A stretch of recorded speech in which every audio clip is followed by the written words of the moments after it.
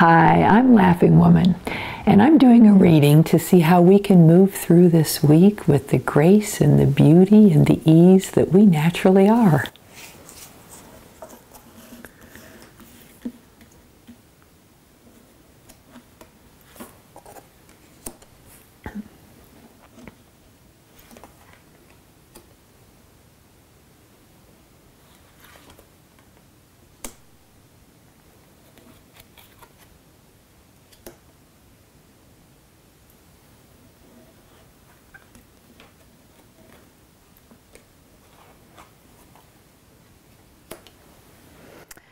Okay, the first thing I'm seeing here for this week is that we have three major arcana. Nope, we've got two major arcana cards. I'm sorry, not three.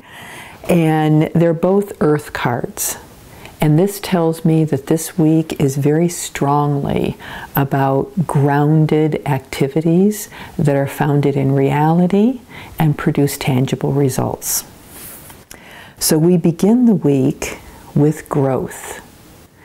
This is a time to check in and see the places where you're becoming, where you're evolving, where you're growing. Check on those places. Make sure that you keep that momentum going that you've already started with. And if there's areas where you need to be growing and you're aware of it, initiate that growth a little bit this week. The energy supports it. We also work with disguises this week.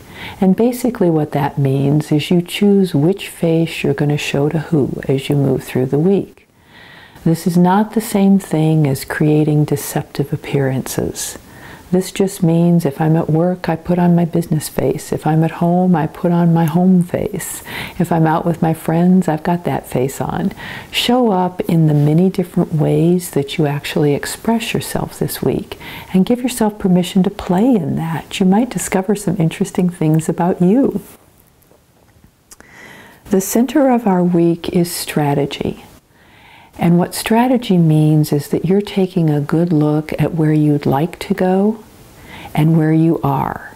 And you're planning to get how to get from here to there.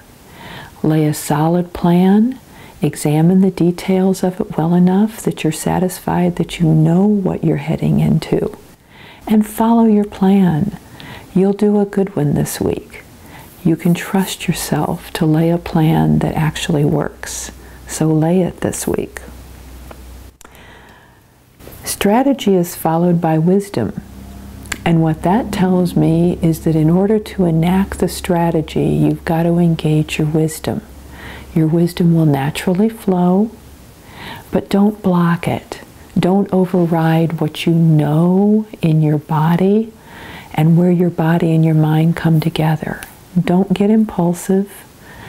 Be very pragmatic with things as you move through this week and as you start enacting that strategy that you're developing. And we end the week with opportunity.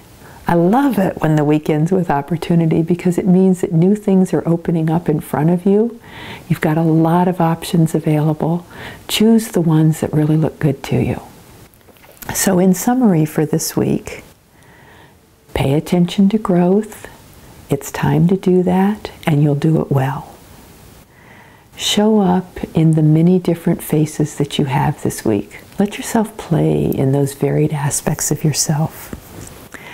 Lay a good strategy to get from where you are to where you'd like to be. And follow that strategy with your wisdom intact. And enjoy the opportunities that open up from that.